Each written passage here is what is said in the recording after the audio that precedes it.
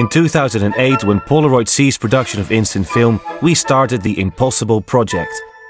We restarted the factory and a whole new generation of instant film was born.